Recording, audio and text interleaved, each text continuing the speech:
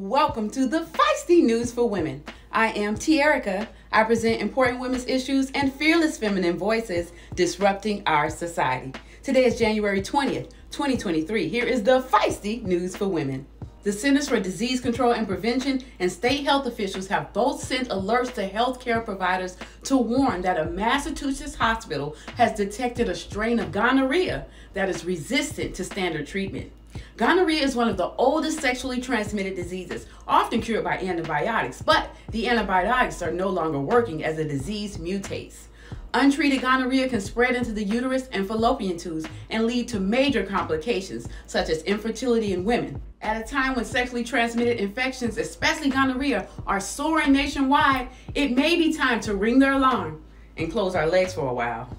In other news, although South Korea may have become one of the richest countries in the world, women are still being left behind.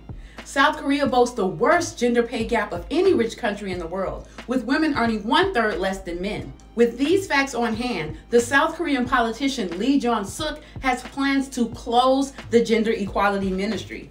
He proclaimed, Gender equality has entered a new phase. We need a new system that looks beyond feminism and focuses on the rights of all minorities. What? Feminism, by definition, advocates for equality of genders. While this society definitely needs an overhaul to achieve its highest goals for the good of all, supporting the advancement of women must be the tipping point.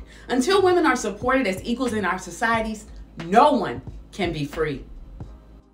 Well, it's time for a break. Which super beautiful pop star found out that her husband was cheating on her? The terrible truth, right after the break. Don't miss it. As a wedding planner and an officiant, I'm going to give you the top five reasons why you shouldn't have a wedding.